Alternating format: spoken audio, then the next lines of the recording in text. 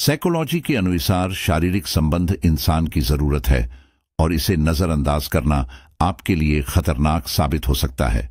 औरत की गुफा की मांसपेशियाँ खिंच जाती हैं और उनमें सूजन आ जाती है तो ऐसी स्थिति में महिलाओं को बहुत दर्द होता है।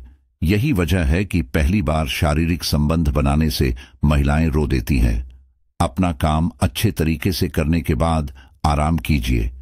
लोग आपके बारे में क्या बातें करते हैं, वह उन्हीं पर छोड़ दीजिए, क्योंकि लोग कुछ ना कुछ कहते रहते हैं।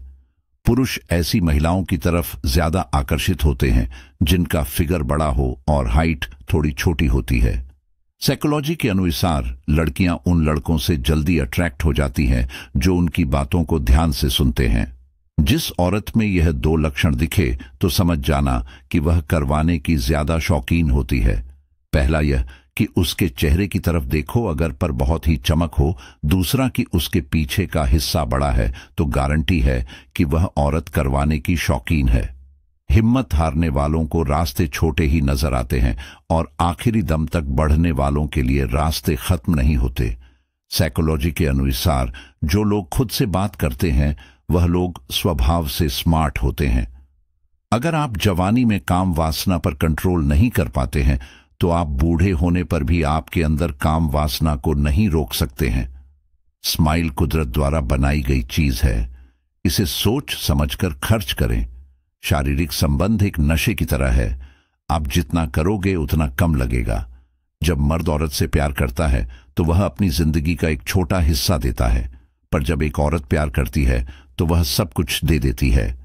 साइकोलॉजी के अनुसार, जिस पुरुष को शारीरिक संबंध बनाने की ज़्यादा इच्छा होती है, वह स्त्री की गुफा की गर्मी को कभी नहीं शांत कर सकता, क्योंकि ऐसे पुरुषों का पानी जल्दी ही निकल जाता है।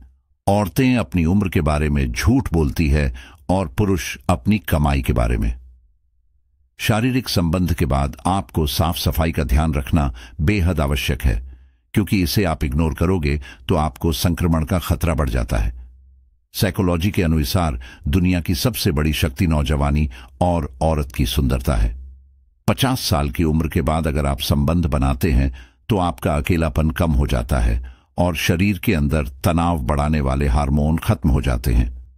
साइकोलॉजी के अनुसार, स्त्री के साथ पहली बार शारीरिक संबंध बनाना चाहते हो तो आपको शुरुआत हमेशा किससे करनी चाहिए? क्योंकि इसमें इतनी पावर होती है कि पल भर में आपको उत्तेजित कर सकती है।